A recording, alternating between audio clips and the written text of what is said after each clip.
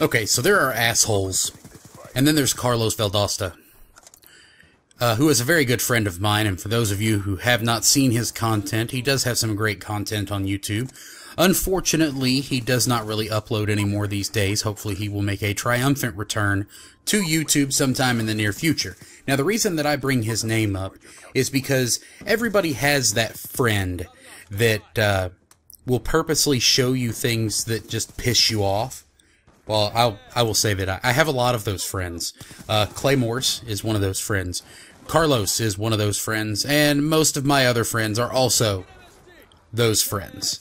So we think it's funny to show each other really stupid shit that we see and that we find. And Carlos sends me a message on Twitter today and he goes, dude, if you want a good ticked off Tuesday topic, go Google put them in a coffin. Unfortunately, I fucking did. I did it. Because I'm dumb. I'm stupid.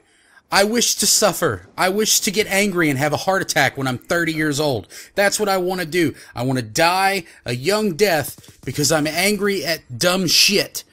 So Carlos tells me to Google this. I go do it. I go do it. I go to Google and I look it up and I go put them in a coffin. I'm like, what the fuck is this going to be?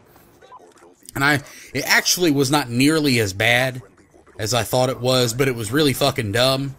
So pretty much what it is, and I would put a video as to what exactly it is, but I don't want to glorify it because it's kind of retarded. So pretty much what people do is they go out in public and they go to different places and they yell out, put them in a coffin, and then they cross their arms and they jump backwards onto whatever it is that's behind them and pretend like they're dead. And it sounds funny, but it's really not. It's just really obnoxious.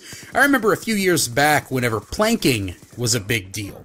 And I remember that planking uh, was relatively harmless because people just laid on shit. And I was like, that's just fucking stupid. And kids do dumb things. I remember being a teenager and doing dumb things like that. That's great. That's fucking fine. But, but, put them in a coffin these fucks are going into gas stations and grocery stores and all over the place and yelling out, put them in a coffin, and then jumping on things that are breakable, like pallets full of cereal and shit. That's kind of douchey. Little douchey, and it drives me insane.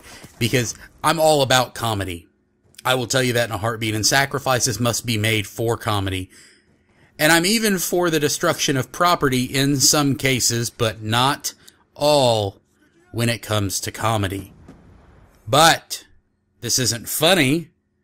It isn't entertaining. It's just a bunch of retarded fucking kids doing retarded fucking things and thinking it's funny. So put them in a coffin is fucking stupid. And Carlos, I hate you one million times more than I did earlier today. Thank you guys for watching. Share your thoughts below after you look it up. Take it easy. It's been Azazel.